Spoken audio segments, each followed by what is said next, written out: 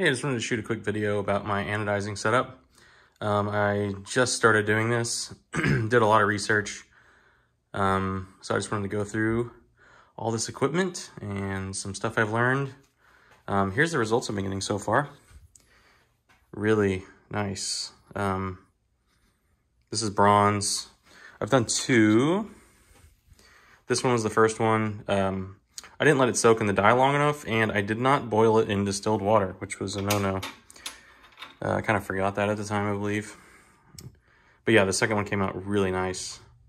Um, no blemishes that I can see. This is just a test part. Uh, it was a product prototype, but uh, I don't know if I'll ever make it or not. Um, yeah, no blemishes, like at all. Pretty amazing for the first first try. I'm surprised I was able to do that. So here's my setup. Um, I'm not using sulfuric acid. I'm using uh, sodium bisulfite or bisulfate. I can't remember which. And uh, that's what this is. This is the actual anodizing bath. Um, let's see. Uh, I didn't want to use sulfuric. You know, it's it's not that hard to get. I guess it depends where you are. Here, you can just buy it in auto parts stores, but you know, it's it's a pretty strong acid. Um, this is acid too. It's, I'm sure, just as dangerous, but it's easier to dispose of. It's a pool chemical is what it is. And you can buy it at Walmart for very inexpensive, comes in a powder form. And uh, I saw some other people had some good luck with it, so that's what I'm using. And, you know, if I ever want to switch to car battery acid, sulfuric, I can. I'll just, you know, switch. That's the only step that uh, involves the acid, so it's easy to switch if I want to change. Okay, so here's all my stages. I got Simple Green. This is uh, industrial cleaner and degreaser. It's from concentrate. Oh, first of all, all of this is distilled water. You can't use anything else. uh, actually, I'm using filtered water, so I'm using a zero filter, which is really inexpensive. You know, here you have to buy filtered water or distilled water by gallons and you know 70 cents a gallon adds up you know pretty quickly if you're doing this all the time.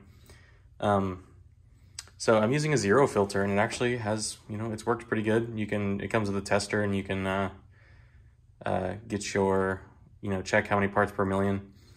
Um, these aren't completely like zero. This is like under eight parts per million for all of this.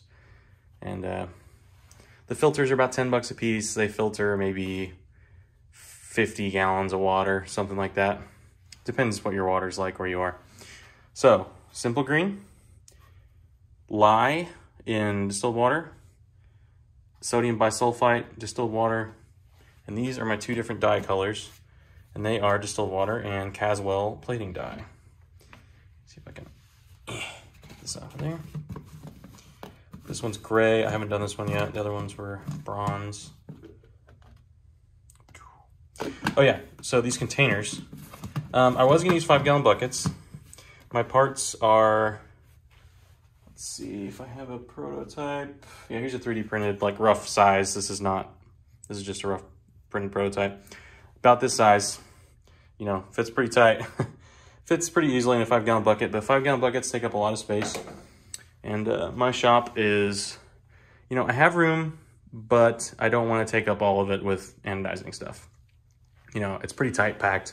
Got a lot of workbenches, milling machine, belt grinder, uh, saw, blah, blah, blah, blah, whatever, granite surface plate, uh, that, yeah. So that's, I just didn't want to take up a lot of room. And it's nice having it all in one level because working down low is not fun. Um, yeah, so that's all the stages. Except for one, uh, you need a neutralizing bath, which right now I'm just using this little teeny glass container um, for baking soda and distilled water. You need to do that before you go from the acid uh, to the dye bath. So I, I, when I was figuring all this out, I uh, pretty much wrote out a spreadsheet in Google Sheets with basically all the information I could find, all the temperatures, times, all that good stuff. I printed it out on my label maker. Kind of hard to read, but you guys can pause it and look at that if you want. It's sorry. Might uh, post better information later. Um, yeah, and the amounts are not accurate on there either. This is, I don't know, I just mixed this standard simple green. This is a half a pound of lye, pure lye. I have the container here.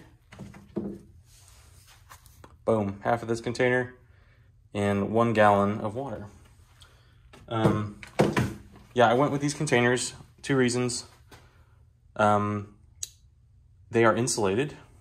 They're plastic. They have screw-on lids. They should seal pretty well. And also, they are smaller. Like, if I was trying to fit five-gallon buckets up here, not to happen. There's five containers there, as you see. So my parts are long and skinny. So this is what I chose. Um, I wish, I searched long and hard for taller containers um, that were also skinny, but it was kind of hard to find them. So these will work. My parts barely fit in, but it should work. Um,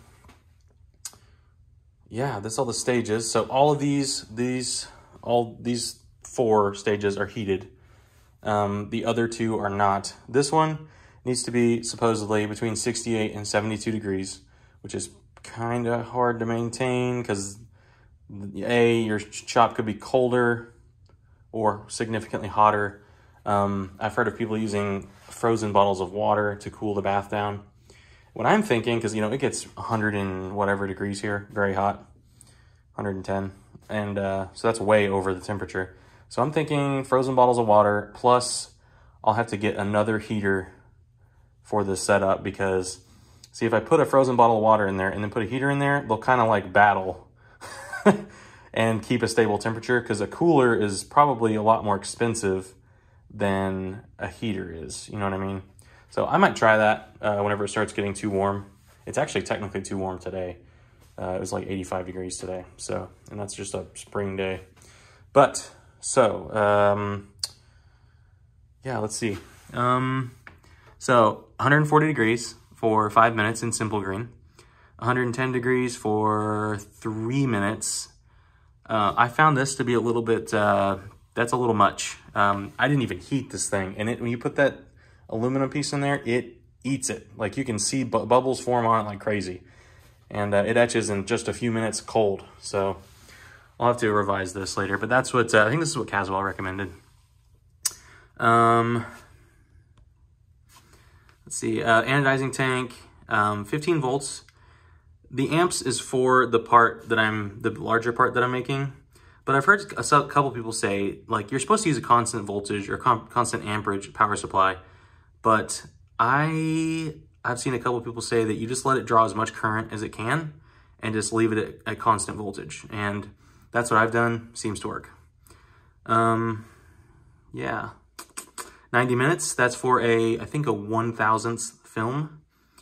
Uh, neutralizer and uh, the dye for, let's see, 140 degrees for 15 minutes and then you seal it in uh, distilled boiling water for 15 minutes. And doing that, I got these really good results. Um, let's talk about some stuff I learned about equipment. Um, so I was trying to find something really easy, inexpensive. Uh, at first, I bought these massive 1,000 watt bucket heaters, and I quickly realized that those things were huge. I mean, they took up a significant amount of space in these. And um, they also, I mean, think about it, a 1,000 watts, that's 4,000 watts if they're, well, 3,000 watts if they're all on. so that's, that'll overload, you know, a 20 amp breaker. These little guys, I found, uh, there was an auto, auto YouTube channel. I can't remember the name of it. Sorry. Um, using, he, he, he was looking for the same solution, but mainly just for cleaning. And uh, this is a cartridge heater. I believe it's 12 millimeters by like 80 millimeters, something like that. You take one of those. They are $7 a piece on Amazon. Uh, they come in packs of two. I've got even extras. They're super cheap. They're stainless, so they can survive these chemicals pretty well. Um, and then you take that, you put some um, heat shrink caps, which I didn't even know existed. Put a heat shrink cap on the end, and then you put a really long chunk of heat shrink with sealant. That's what this is. And it's uh, four to one. So it shrinks four times. Oh, here we go. Here's a better uh, automobile special grade heat shrink tubing. And it seals. It has like a sealant on the inside. Um, it's very important you do not let the sealant get closer to the center than those because the heat from the center of the cartridge heats up really fast and it'll just literally burn it off. So you want to cut it back. Um, so yeah, that's these. These things are awesome. This is the solution, in my opinion, for this size of setup. I mean, they're tiny.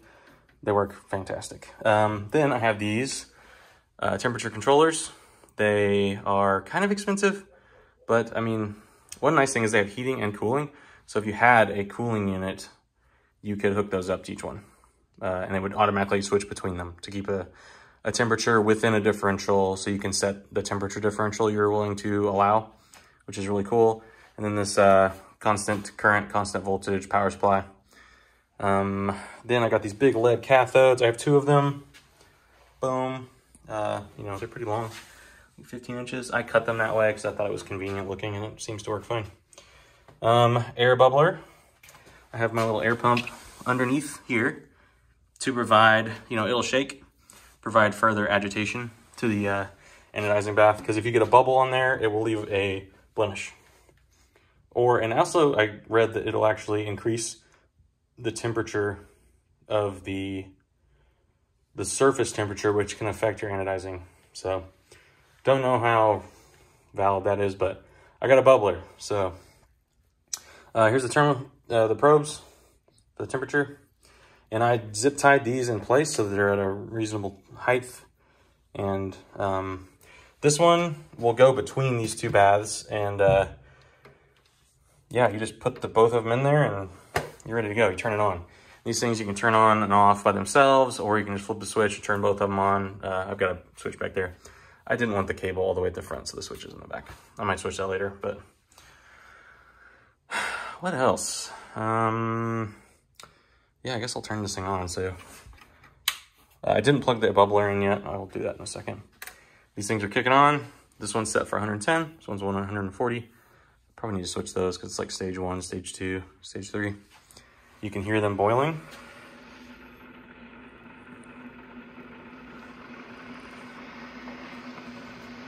Yeah, they, they put out some heat. I mean, they boil. Another thing, nice thing is these kind of, you can kind of stir with this. So you can agitate it a little bit. Um,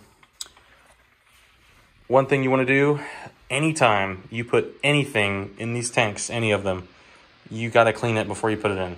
And you want to do that with distilled water and um, it'd be best, like, like let's say you wanted to put something in the dye bath, like the heater even, you know, put it in simple green, spray it with distilled water really, really well, get it clean, then put it in there. Do that for everything. Even if you're like, I don't even know, I can't think of anything, a stir stick or something like that. Or like something to grab something, clean it. Because contamination is gonna be the downfall of any anodizing setup, I think. Haven't found that out yet, but I'm pretty sure that's the case. So yeah, these things are heating up. Kind of stir them a little bit. And then, um, yeah, so at every stage, you need to um, basically, so I'm going to put it in here, right? I'm going to clean it before I put it in there first because it'll keep this bath working longer. Um, spray it after you pull it out, spray it really, really well. Make sure you get in all the holes with a spray bottle. Um, I tried this.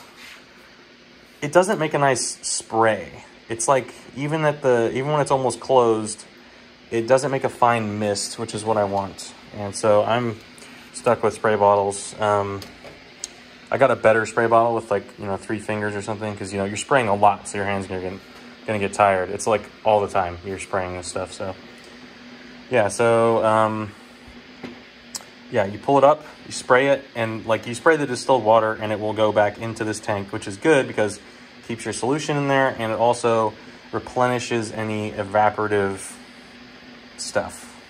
So boom, boom, here for an hour and a half, uh, and then in there. And actually, I'll probably just, well, I'm gonna pull this out, spray it, and then I'll show you what it looks like in that bath over there. Yeah, this thing's already up to temperature, 100 degrees. Or already, it's getting close. Yeah, it says 110 course, the stirring helps uh, make the temperature more even. So you can see what it actually is, 104. Yeah, but once the uh, once they hit reach temperature, you don't have to do anything to them. They just they turn on and off a little bit, and but since these are insulated, they use a way less electricity and they don't turn on as much. Yeah. So I'm going to uh, pull this out, spray it, and then put it in the lye bath. So just a second. All right, so I sprayed this. And now I'm going to put it in the lye bath. You don't want it to dry also, I think. Watch this. Look at that. It's eating that thing. It's supposed to stay in there for three minutes.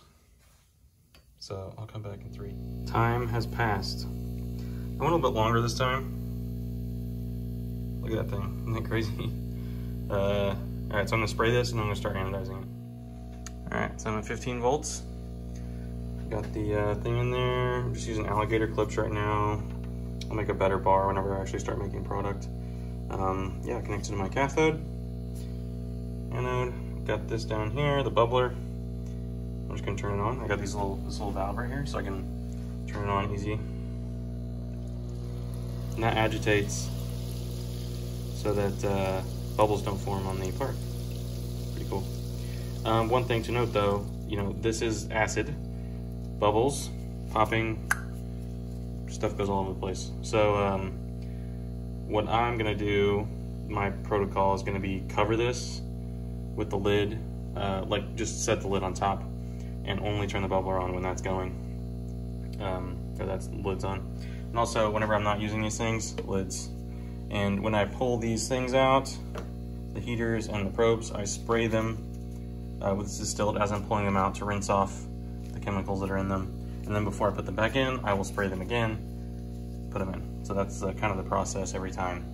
Um, same goes for the dye over here. And so yeah, this is uh, gonna go for an hour and a half. Uh, put the lid on, turn the bubbler on, and that's pretty much the whole process. Um, so you just go from here to um, your neutralizing bath, which I'm gonna get a different, taller container or whatever. Um, it doesn't need to be insulated because it's not heated. Uh, and then dye for 15 minutes, and then you boil it in distilled water. That's pretty much it. Um, yeah, that's a quick rundown of this little setup. This isn't ideal. I'm probably getting like some overspray between these.